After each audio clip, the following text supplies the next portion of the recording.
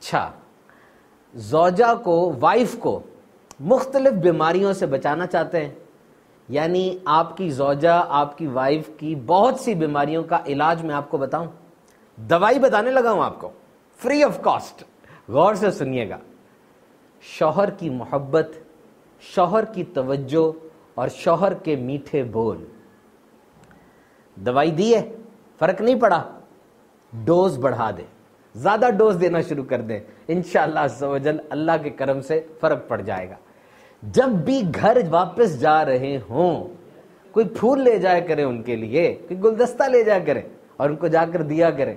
जब भी फ्रिज में आए, अपने लिए ठंडा पानी या शरबत निकालने के लिए एक ग्लास अपनी सोजा के लिए भी ले जाएँ और जाकर उनको कहें कि बहुत थक गई होंगी आप सारे दिन के बाद, आपके लिए पानी लेकर आया और जब आप शाम को घर आते हैं, ठीक है you have a rough day आपका बड़ा दिन ऐसा गुजरा है, आज के दिन बहुत कुछ सुनने को मिला तो ये तो वो, सारा कुछ। But wait for a second एक तो ये ना कि अपनी कहानी शुरू कर दें। हाँ हाँ मैं बताऊँ मेरे साथ क्या हुआ? No wait for a sec एक मिनट, रुक जाइए।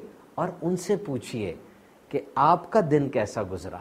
यकीन कीजिए, बड़ी सी बड़ी एनर्जी ड्रिंक और बड़ी से बड़ी मल्टी वाइटामिन का वो असर नहीं होगा जो आपके ये बोल आपके घर वालों पे कर देंगे। एक दफ़ा करके देखें इंशाला ज़िंदगी में सुकून आ जाएगा।